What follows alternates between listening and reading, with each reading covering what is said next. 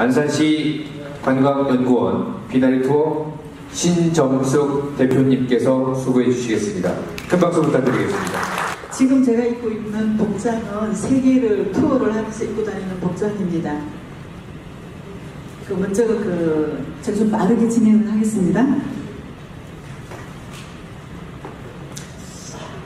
그 드론 영상에서도 아까 봤듯이 아름다운 풍경을 가지고 있는 안산입니다. 그리고 안산은 김홍도의 정신이 계승되는 예술적 감각과 세계인들을 불러들일 수 있는 공단의 중소기업들이 조화를 이루고 있는 천혜의 선택을 받은 도시라고 저는 생각을 합니다. 안산 갈대 섭지와 다른 도시에는 없는 안산 속의 세계 문화를 느낄 수 있는 다문화 원곡동이 있습니다. 그 어느 지역보다 행복한 인생의 꿈을 실현할 수 있는 동기를 잠재하고 있는 매력적인 도시라고 생각을 합니다. 저 또한 안산에서 여행으로 버킷리스트를 다 실현을 했습니다. 자, 먼저 어, 목차를 보겠습니다.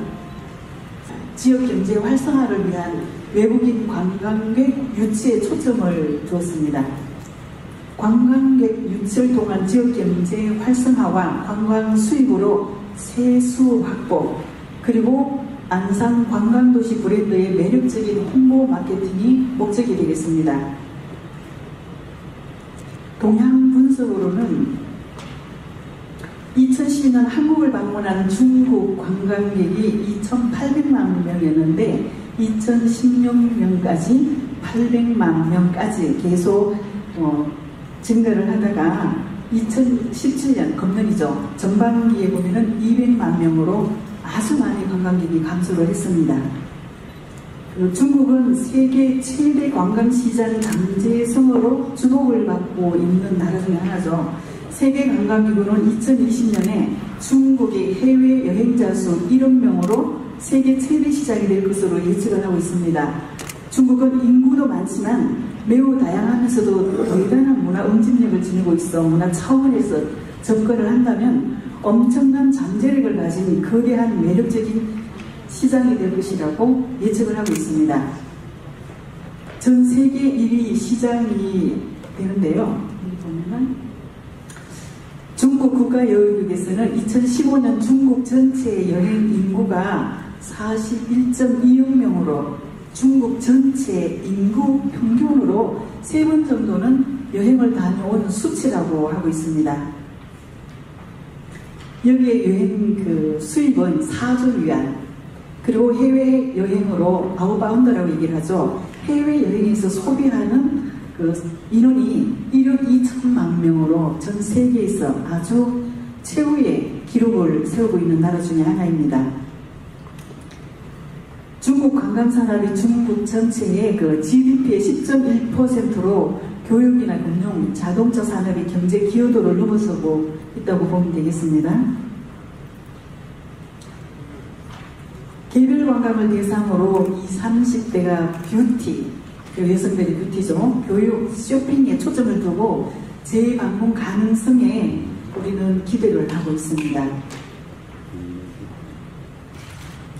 중국 관광객 방문 목적이 있습니다. 방한 목적이 있습니다. 재방문 시장은 연령이나 목적의 차이를 보이기는 하는데 교육이 71.7%나 됩니다. 중국 개별 관광객 여행 방문 지역이 바로 서울이 76.2%입니다.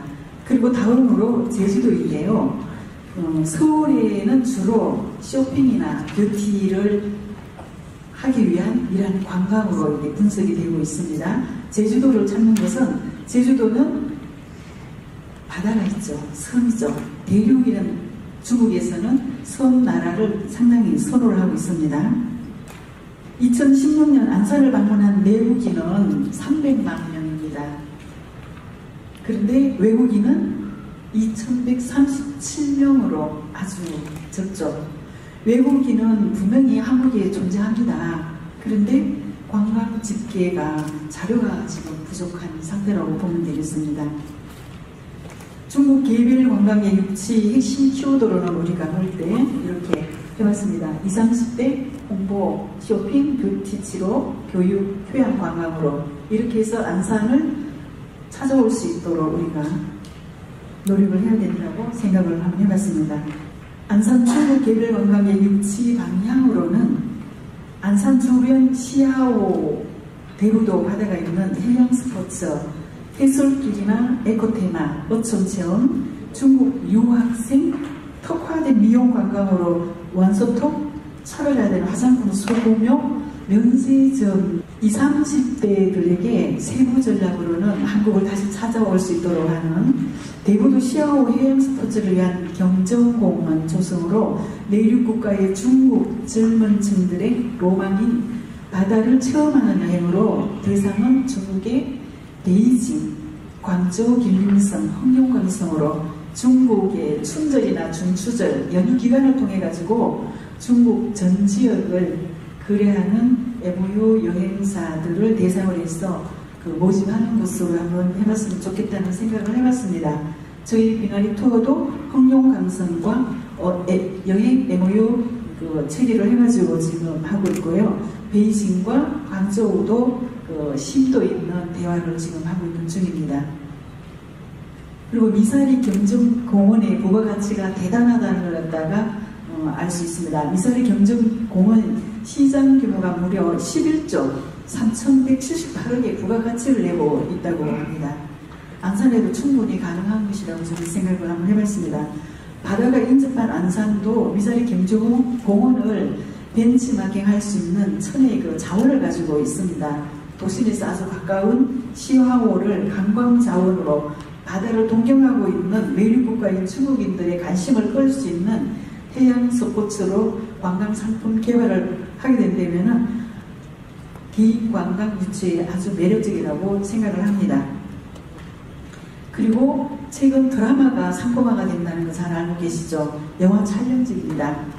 그 겨울 연가 관광 상품으로 선거를 낸 아주 유명한 곳이죠. 이것도 한번 안산에도 기획을 한번 해볼 필요가 있다고 생각을 한번 해봤습니다. 세트장을 양주시에다가 만들어가지고 2005년 8개월 동안에 11만 명이 여행자가 방문을 했다고 합니다. 여기에 나오는 여행으로 인한 부가가치 세수가 또 엄청날 거라고 보여집니다. 스포츠는 시흥시와 화성시 그리고 안산시가 연계해서 관광객 관리 시스템을 통합해서 공동 발전을 어, 위한 랩, 레포츠 산업을 확대할 필요가 있다고 저는 생각을 합니다. 그리고 안산 전 지역을 광고에 출연을 시키는 겁니다. 그리고 영화나 드라마에 안산 전 지역이 아까 드론 영상 보셨죠? 이런 것을 이렇게 유치를 할 수 있도록 세트장을 지원을 안산시에서 하게 된다면 관광 수입이 기대가 된다고 생각을 합니다. 그리고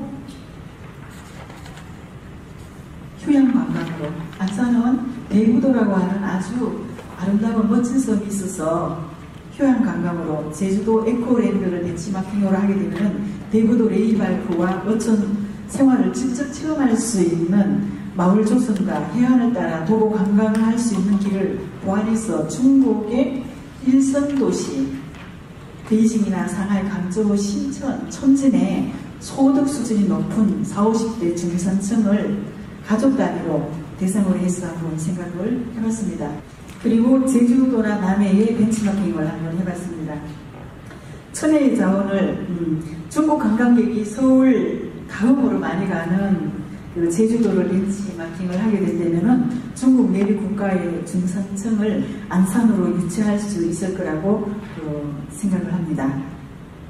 그리고 대구도 시화호, 천혜의 자연을 가진 안산의 대구도 시화호 주변에 에코 테마파크로 체험 여행지 개발로 안산을 휴양 관광도시로 브랜드 홍보가 가능하다고 생각을 합니다. 그리고 또 하나 교육입니다.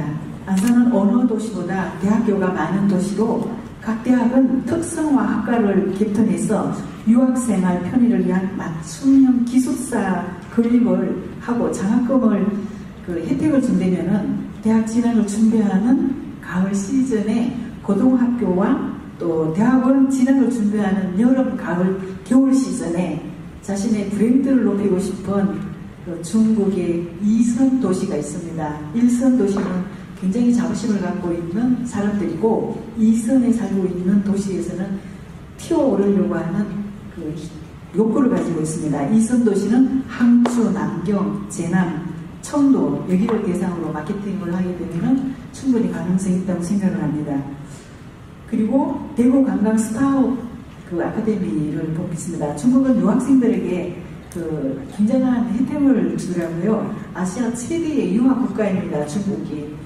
어, 저도 베이징시 초청으로 시진핑, 시진핑의 그 모교라고 하는 칭화대를 방문을 했었는데 교내 투어를 하면서 강나라 유학생들의 미래를 향한 뜨거운 열정과 학구열을 보았습니다. 그리고 학교 당국의 유학생들에 대한 유치를 적극적으로 마케팅하는 것도 느끼고 왔습니다.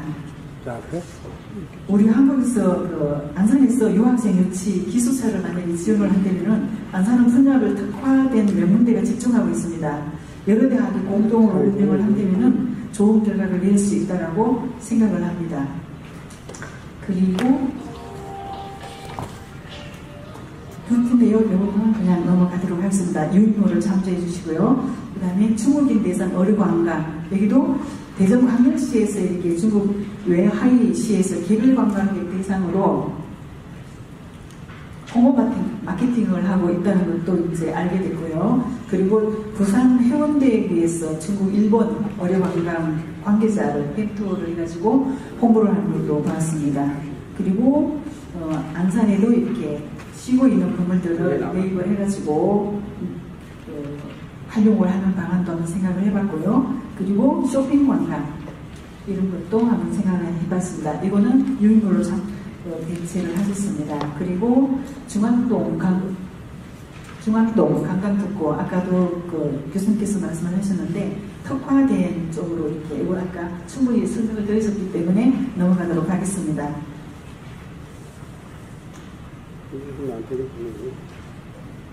홍보 마케팅 안산에서 바늘공단에서 중국과 교류하는 업체와 MOU 체결로 중국 업체에게 한국 수출 시에 다양한 혜택을 준다거나 프로모션을 제공하면은 안산시와 바늘공단 업체의 적극적인 참여와 그리고 지원으로 모두가 개별 관광 특사가 되지 않겠는가 하는 생각도 그래서 스스로 또 확보할 수 있는 길이 열리지 않겠나 생각도 해봤고요. 그리고 해외 이것도 대체를 하겠습니다. 유인물로. 그리고 다음 안산 친구 만들기, 여행 친구 만들기도 이것도 지금 시에서 굉장히 열심히 많은 SNS를 통해 가지고 하고 있는데 적극 활용을 하게 된다면 반드시 좋은 결과가 있을 거라고 생각을 하고 있습니다.